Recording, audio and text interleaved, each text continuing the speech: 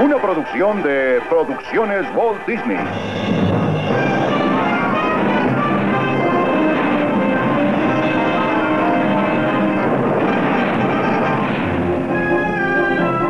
La eterna búsqueda.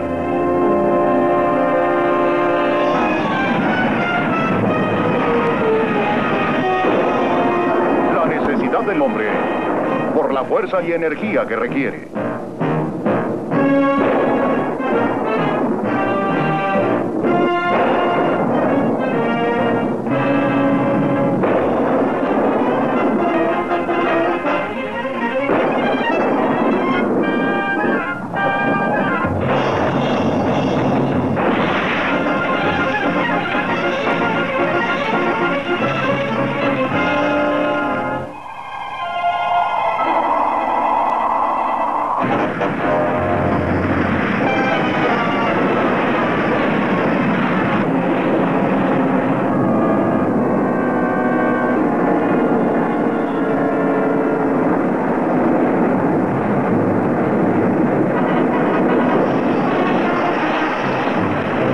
Energía es fuente de toda actividad y sin embargo no se puede ver, oler ni sentir. Así que la forma en que el hombre llegó al conocimiento de los diferentes tipos de energía, calor, electricidad, radiación, química y mecánica, es uno de los más grandes cuentos detectivescos en la historia de la ciencia. El Sol, la más poderosa fuente de energía, está a casi 150 millones de kilómetros de distancia. Solo una mínima parte de la energía total del Sol llega a la Tierra, pero aún así, todo ser viviente depende de ella.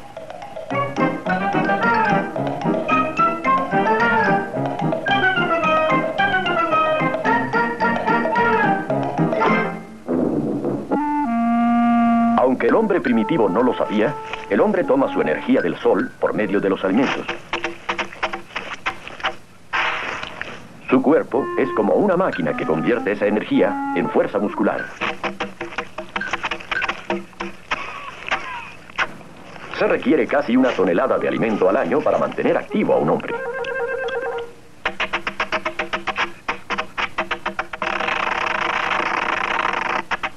Por miles y miles de años, el trabajo del hombre se hizo con su fuerza muscular, que usaba para mover el mazo, para conseguir su alimento, que usaba como combustible, para que sus músculos movieran el mazo, para conseguir alimento que usaba como combustible, para que sus músculos movieran el mazo, para conseguir alimento que usaba como combustible.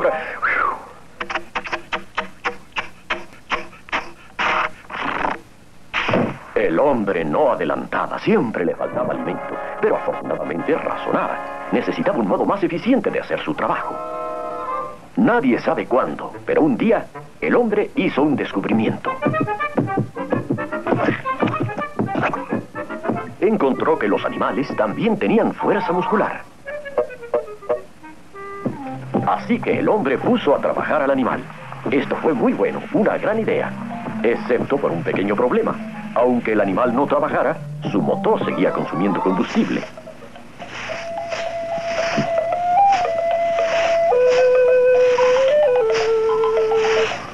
Hombre tenía que encontrar algo que no se cansara y no tuviera que ser alimentado o no progresaría jamás.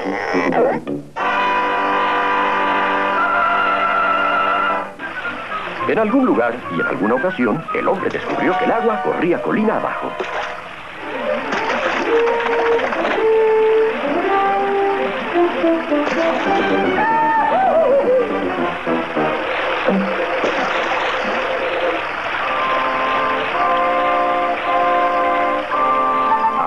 Usado otra vez su cerebro y utilizó la energía del agua para llevar leños a su hoguera.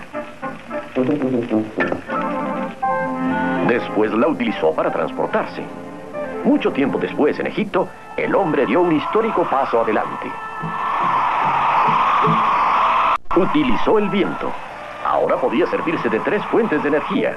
El animal, el agua y el viento. En los tiempos de la antigua Grecia ya había inventado las cinco máquinas básicas para ahorrar energía. Primero vino la palanca. Este principio se aplica a las otras cuatro. El hombre, A, ejerce una fuerza, E, que multiplicada por la distancia a la base, F, equivale al peso de la roca, W, cuando se multiplica por su distancia a la base, WF. Encontramos que 10 libras de fuerza a 4 pies de la base pueden levantar 20 libras de peso a 2 pies de la misma. 10 veces 4 son 40, 20 veces 2 son 40. ¡Eureka! ¡Funciona! ¡Claro que funciona! Después vinieron la rueda y el eje. Más tarde la polea. Y después el plano inclinado y la cuña. Y la más joven de las cinco máquinas, que es sencillamente un plano inclinado enrollado alrededor de un cilindro, el tornillo. Al pasar el tiempo, el hombre hizo varias combinaciones de todo esto para construir máquinas más complicadas.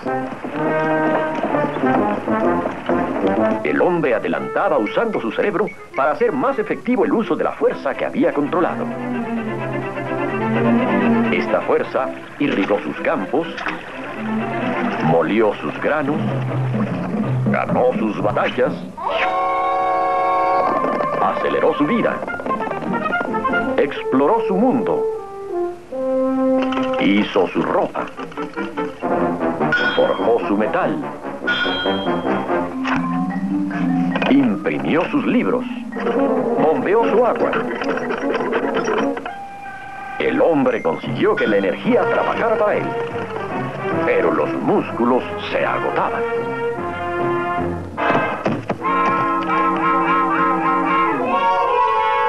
Los animales tenían que ser alimentados. El viento no siempre soplaba y no siempre se disponía de corrientes de agua.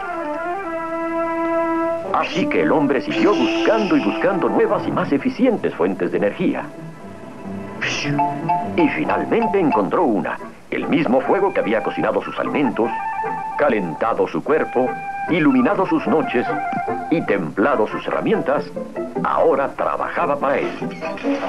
El hombre inventó la máquina de vapor y así empezó la revolución industrial. El carbón reemplazó al agua como la principal fuente de energía del hombre, liberando a las fábricas de las riberas de los ríos. Pronto hubo locomotoras, barcos de vapor. Las fábricas y molinos se multiplicaron por todas partes. El hombre progresaba firmemente. Pero la máquina de vapor era pesada y molesta. Así que el hombre volvió a sus estudios. Necesitaba algo más ligero y más compacto. Y entonces inventó el motor de combustión interna. Y para fines del siglo XIX, el petróleo y la gasolina como fuentes de energía empezaron a dominar. El hombre inició el despegue. Sin embargo, siguió buscando otras formas de facilitar su trabajo. Y así llegó a otro descubrimiento. La electricidad. Esto no era una cosa nueva. Por años había tratado de dominarla. Y con el invento del generador, lo consiguió. Naturalmente tenía que seguir usando carbón o agua, pero por primera vez el hombre pudo enviar la energía lejos de su fuente. El mundo empezó a iluminarse. El hombre había adelantado mucho desde que su única fuente de energía eran sus músculos. Cada nuevo descubrimiento hacía su mundo mejor y más fácil su trabajo.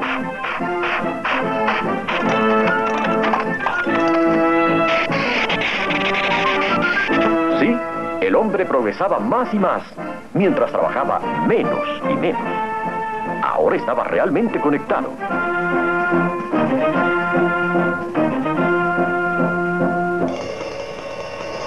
Aún así, el hombre no estaba satisfecho. Continuó buscando una más eficiente fuente de energía y consiguió la misma energía que existe en el Sol, la energía atómica. El hombre había triunfado nuevamente y justo a tiempo, pues sus principales fuentes de energía como el carbón y el petróleo se agotaban rápidamente. Con solo medio kilogramo de combustible nuclear, el uranio, puede hacer el trabajo de millón y medio de kilogramos de carbón. Esta energía ilumina ciudades, impulsa barcos y otras naves marinas, cura enfermedades. Y aún así los esfuerzos del hombre no han cesado. Ahora trabaja en otras fuentes potenciales, las mareas, el sol, el calor de las profundidades de la Tierra, rayos láser, fusión termonuclear. Y la búsqueda continúa. Una búsqueda de nuevas y más poderosas fuentes de energía. Estas controladas adecuadamente harán los años futuros más brillantes, más allá de lo que el hombre haya conseguido jamás.